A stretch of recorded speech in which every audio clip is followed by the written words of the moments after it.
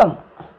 நம்ம கீழக்கோயில்பட்டி அப்படின்ற ஒரு கிராமத்தில் தை திருமகளை எப்படி வழி அனுப்புகிறாங்க அப்படின்ற கதையை கேட்கலாமா? தானானே பாட்டு பாடி கும்மி அடித்து குலவையிட்டு பூ எருவாட்டியில் தீபம் ஏற்றி ஆற்றில் விட்டு தை திருமகளை வழி அனுப்பும் பாரம்பரிய நிகழ்வு வத்தலக்குண்டு அருகே நடைபெற்றது.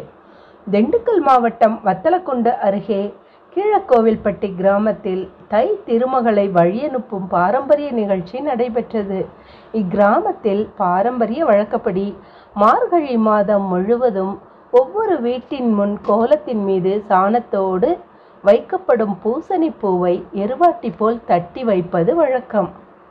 இதன் தொடர்ச்சியாக தை பிறந்து பொங்கல் திருநாள் முடிந்து நான்காம் நாளில் தட்டி வைத்த பூ எருவாட்டியை பகவதி அம்மன் கோவிலுக்கு எடுத்து வந்து பெண்கள் அனைவரும் கூடி தானானே பாடல் பாடி கும்மியடித்து குலவையிட்டு காடு கரை செழிக்க கால்நடைகள் வளமோடு வாழ கிராம மக்கள் நோய் நொடியில் இருந்து மீண்டு வர பிரார்த்தனையில் ஈடுபட்டனர்.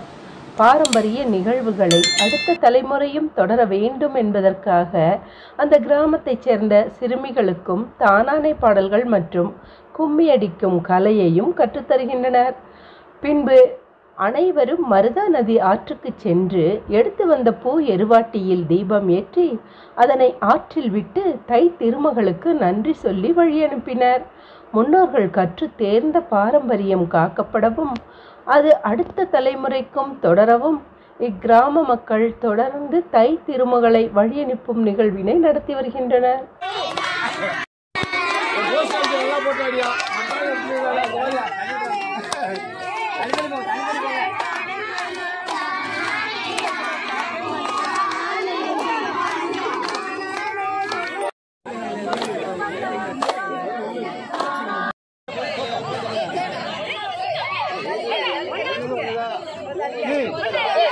ஒழுங்கு அது